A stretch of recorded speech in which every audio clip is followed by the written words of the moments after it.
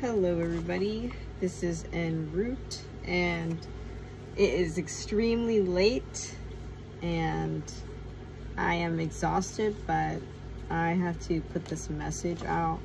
I already made this message on a video, on a, on a voice memo, but the sound was off and it was going through a headphone so I had to put this message out, okay?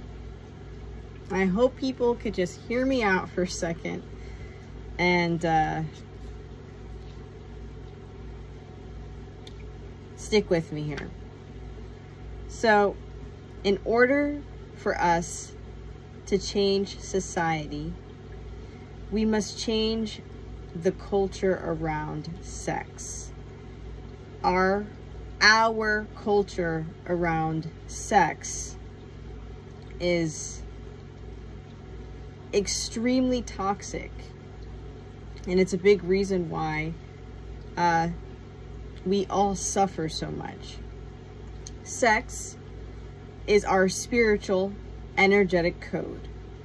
And what that means is that when we live in a society where everybody's spreading out their energetic code all over the place, and the energetic code that is spreading their energetic code around is negative, then you create trauma. You create a perpetuation of suffering, right? And so it can be dangerous for us to whole to, to focus only on like you know your your urges your lustful urges or your your you know, maybe just something that you have a desire for or something like that. But is it necessarily the logical choice, right? So understanding if you're equally yoked, right? You know, it doesn't matter if, you know, you want something. Is it equally yoked? Are you, you know, together? Is it working? Are you meshing, right? So we can actually have heaven here on earth, but it's only possible if we change the way that we have sex because sex is everything. Sex is life. Sex is energy. And the way we're having sex creates a negative energetic field that transmutes onto this planet, Earth, world we live in and it creates this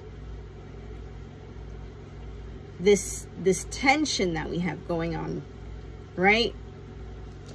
And so if we understand how we we we play with sex like it's a toy we play with ourselves like we're toys right?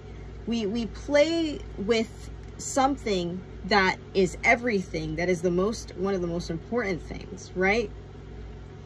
And and sex is supposed to be between one to one right? It's not supposed to be like a harem where it's one to a hundred and the thing about it is that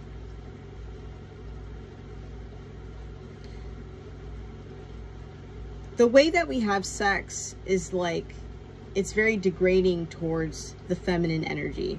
The way that we have sex, a lot of the times, you see that a woman can become one of the greatest versions of herself, but there are still men that would want to knock her down a peg or two, right?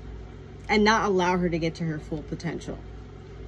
And why is that?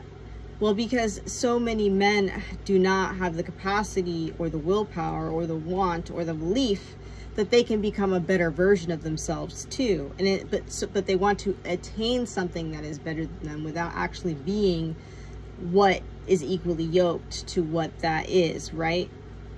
And so women are told to settle. Women are told to to accept less, to be less, to dim themselves because she wants more. And if you ask for more, then you know, you're asking for too much. But then men ask a woman to cut herself on the table for bigger tits. Like that's not asking for too much. Men expect women to put their lives on the line by having their children, getting surgeries, you know, and just doing so many things to upkeep themselves. But then she's asking too much, you know, of you to be a better person, right? Or just like to be moral in, in a sense. And so the thing about it is that the standard for men has been kind of lowered, right? Like when it comes to women, right? Men hold each other accountable, but a lot of times, and obviously it's not all the time, women women's only recourse is to be like, well, darling, let me beat around the bush a little bit for you and say you were, you know, not being super respectful. And, and, you know, I'm not saying this is all guys, but it's just like women are not allowed to be straight up. Women are not allowed to be humans. We have to put up a fucking act for you guys all the time. And it's just so frustrating because you guys get so angry and it's like, oh, you're not talking to me with respect. It's like you never talk to us with respect. And so, you know, I, I just find all these men, they just, they, they want all this respect they never earned. And then, and I get it, this world is hard, this world is difficult, but it's not just difficult for men. And the thing about it is men make it difficult on everybody, including themselves.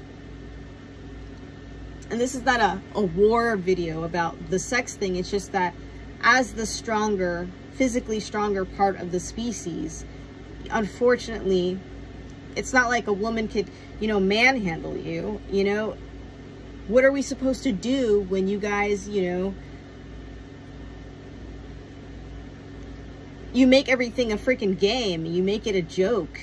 You make sex something to, to joke around with your friends and say, oh, you know, you're you're just playing with women's lives. You're destroying women's lives for fun, for jokes, for shits and giggles, to shoot the shit.